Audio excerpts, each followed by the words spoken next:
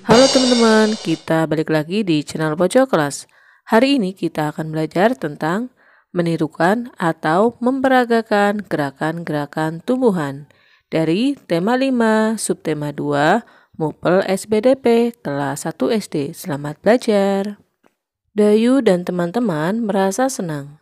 Mereka akan belajar menari.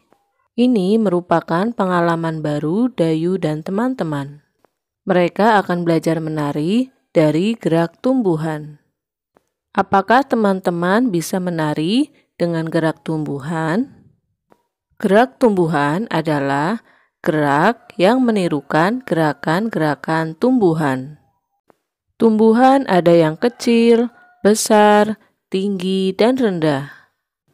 Tumbuhan tidak dapat berpindah tempat, namun mereka dapat bergerak jika dihinggapi kumbang, tertiup angin, atau karena cahaya. Bunga tumbuhan menguncup lalu mengembang. Tangkainya berayun-ayun jika dihinggapi kumbang. Tumbuhan bergerak miring jika ada angin besar. Contohnya gerakan daun kelapa yang terkena embusan angin. Seperti pada gambar. Mari kita berlatih memperagakan gerakan-gerakan tumbuhan. Yang pertama, tumbuhan rendah. Yang kedua, tumbuhan tinggi. Yang ketiga, tumbuhan bertangkai lebar.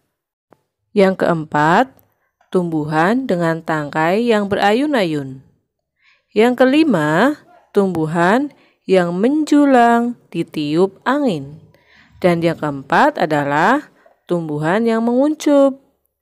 Silakan teman-teman memperagakan gerakan-gerakan tumbuhan sesuai dengan gambar. Teman-teman juga dapat mengkombinasikan beberapa gerak tumbuhan.